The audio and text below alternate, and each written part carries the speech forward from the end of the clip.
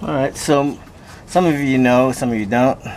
My favorite is 769 Jet Lube. I've never found anything better. Unless it's some homemade stuff. I'll just go ahead and hit this with oil. Just a little bit. And go back at it.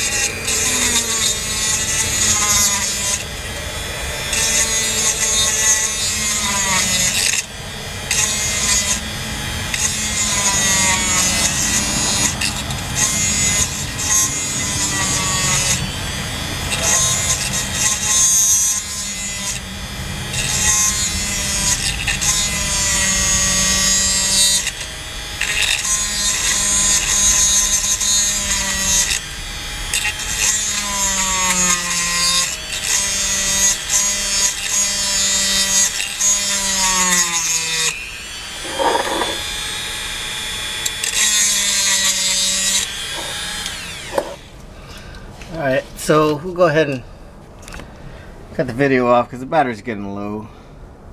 Um, you can see I've got the hole started. And looks like uh, the drill bit is not a problem.